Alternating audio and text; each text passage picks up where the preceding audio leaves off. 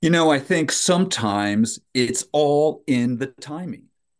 And that's particularly true of a day like today, New Year's Eve, when a rolling set of New Year celebrations kick off going around the globe, time zone after time zone.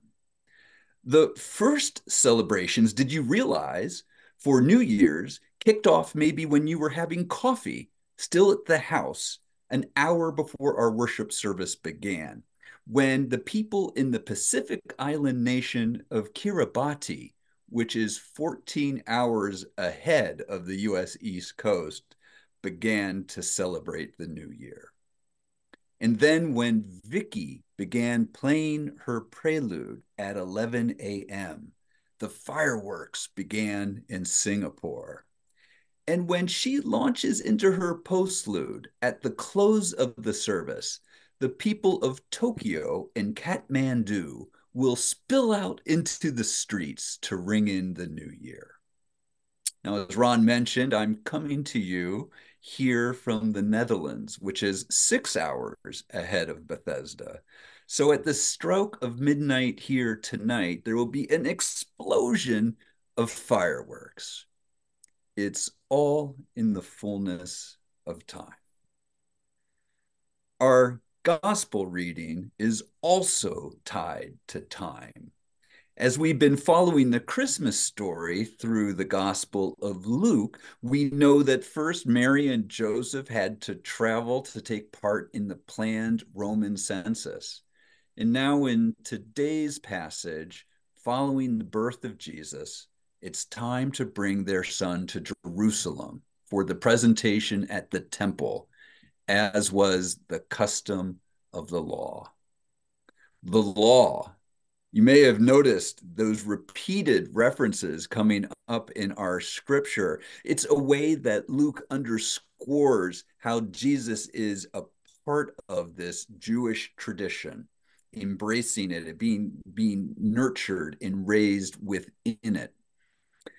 And it's worth noting, pausing over one little detail that crops up in verse 24, where it notes that Mary and Joseph offered a sacrifice according to the law of either turtle doves, quote, turtle doves, or two young pigeons, unquote. The requirements of the sacrifice at the time of an infant's presentation are spelled out in the book of Leviticus. And the offering of turtle dove, of a turtle dove or two young pigeons was an accommodation for the poor, for those who couldn't afford a more impressive animal sacrifice of perhaps an ox or even a goat the Son of God, the infant lowly, as we sang in another hymn, was born in a stable and into a family of very modest means. It's just a further demonstration of the Christmas miracle of how the Word became flesh and dwelt among us. But the fact that Jesus is born into a household that can only afford a sacrifice of a dove or a couple pigeons highlights how urgently God seeks to be in communion with all of us and brings a special care, perhaps, for those who live on the margins of life. There was a man named Simeon a faithful man.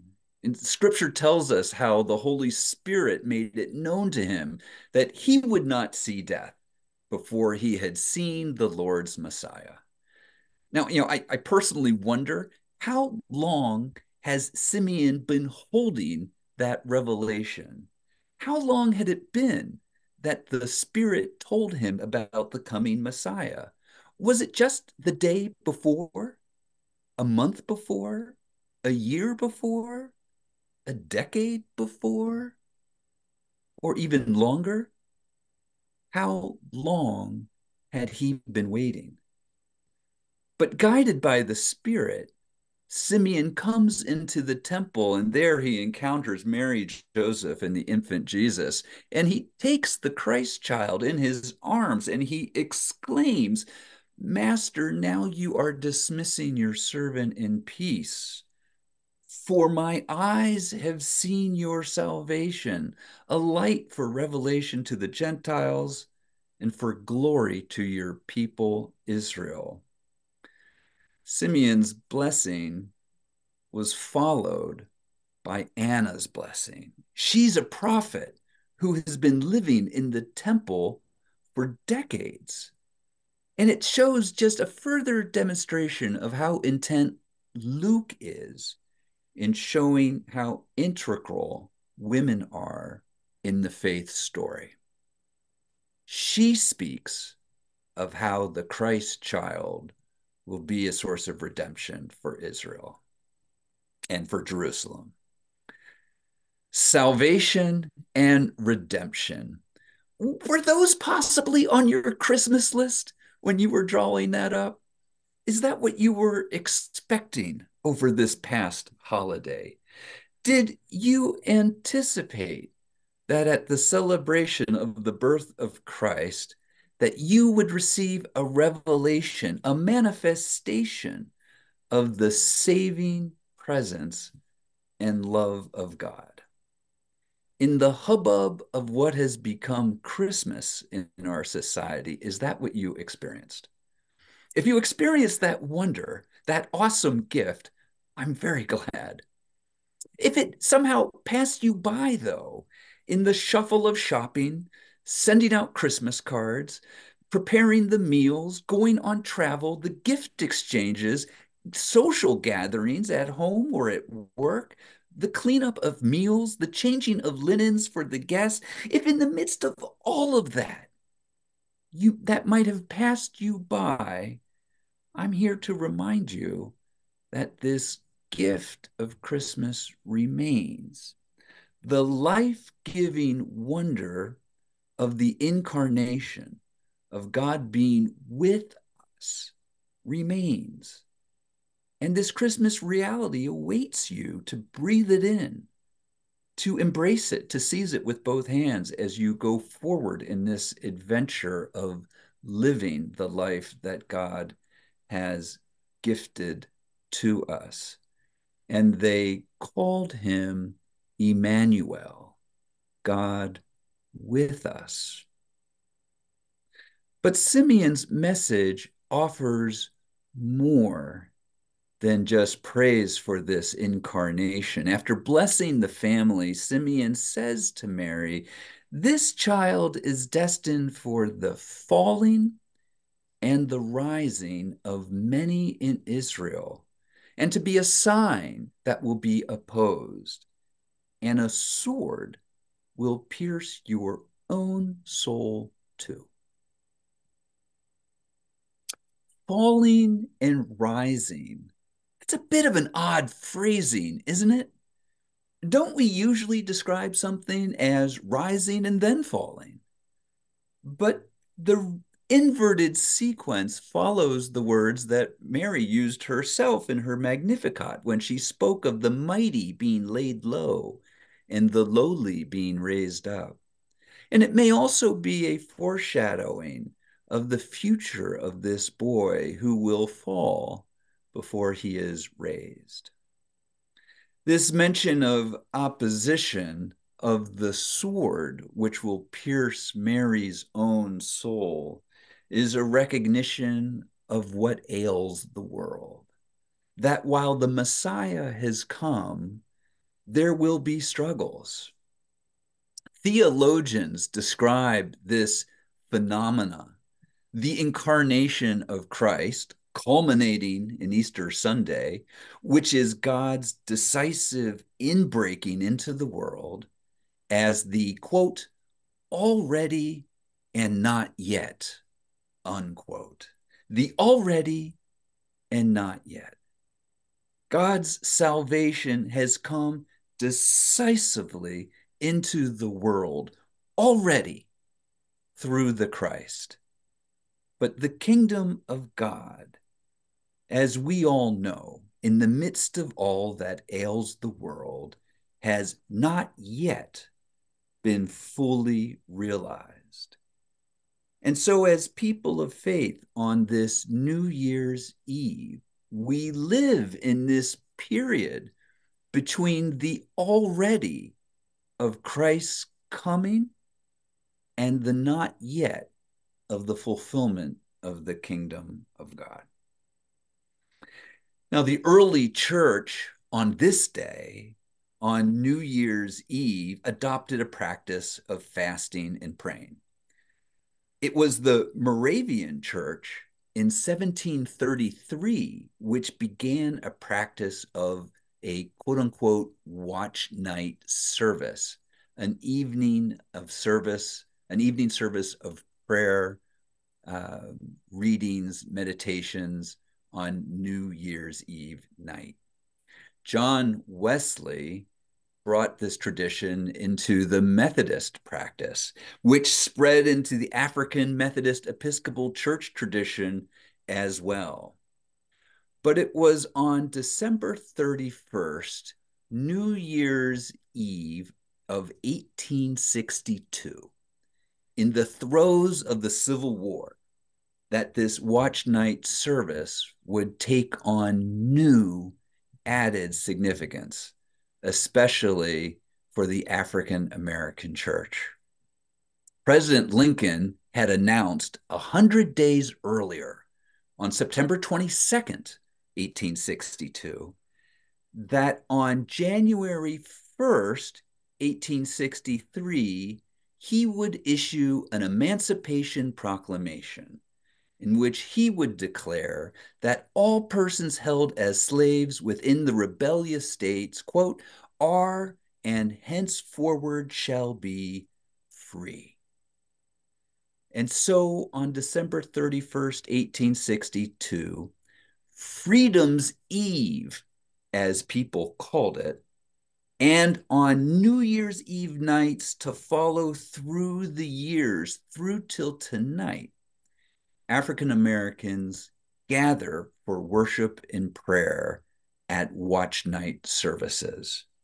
Minutes before the midnight hour, people would call out, Watchman, watchman, please tell me the hour of the night. And the minister would reply, It is five minutes to midnight. Then again, Watchman, watchman, please tell me the hour of the night. And the minister would say, It is three minutes before the new year. And then it is one minute before the new year. And then it is now midnight. Freedom has come. Frederick Douglass wrote on that December 31st of 1862, quote, it is a day for poetry and song, a new song. These cloudless skies, this balmy air, this brilliant sunshine are in harmony with the glorious morning of liberty about to dawn on us. It's as though Douglass was holding up the infant freedom in the temple and saying, Now you can dismiss your servant with peace, for my eyes have seen your salvation. And like Simeon, Douglass could also tell any Black mother this infant of freedom is destined for the falling and rising of many in America and to be a sign that will be opposed. A sword will pierce your own soul too.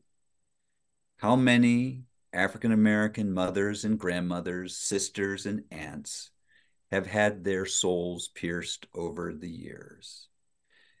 In these days, how many Palestinian mothers and Jewish mothers and Ukrainian mothers and Russian mothers and Cameroonian mothers and Mexican mothers and all of their fathers and uncles and brothers and nephews had their souls pierced too.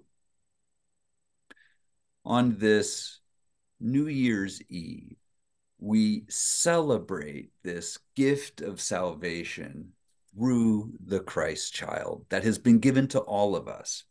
This ongoing gift of the presence of God in our lives is decisive.